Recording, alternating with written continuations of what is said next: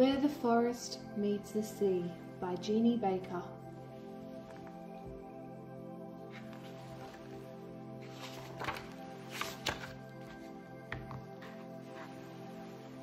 My father knows a place we can only reach by boat.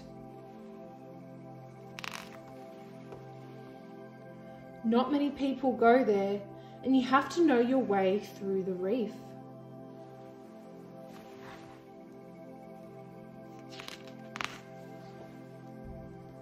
When we arrive, cockatoos rise from the forest in a squawking cloud. My father says there has been a forest here for over a hundred million years.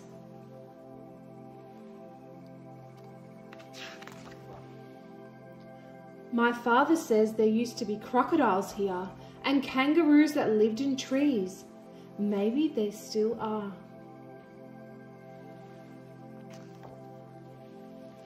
I follow a creek into a rainforest.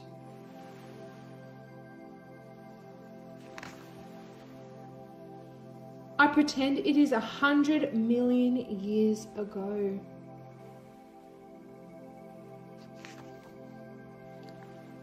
On the bank of the creek, the vines and creepers try to hold me back. I push through. Now the forest is easy to walk in.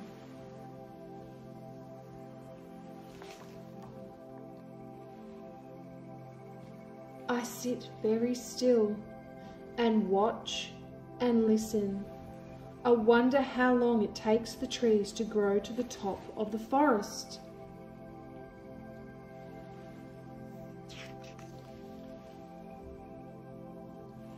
I find an ancient tree. It's hollow. Perhaps Aboriginal forest children played here too.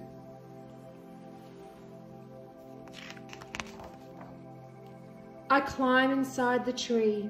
It's dark, but the twisted roots make windows. This is a good place to hide.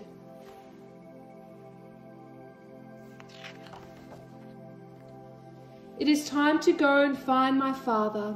I think I hear the sea. I walk towards the sound.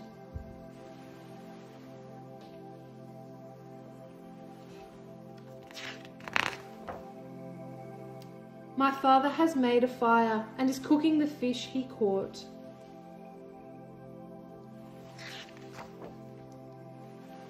I like fish cooked this way, but then I feel sad because the day has gone so quickly. My father says we'll come here again someday.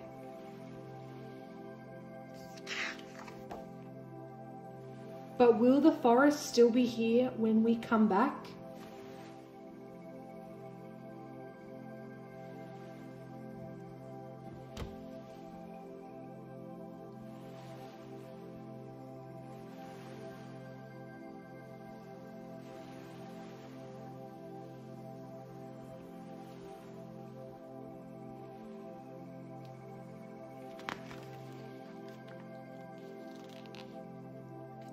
This is where the Daintree rainforest is. The place, the people, and the precedent are real.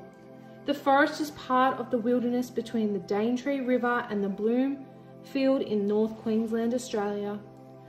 There remain um, at making of this book only 296,000 acres of wet tropical rainforest wilderness that meet the ocean waters of the Great Barrier Reef.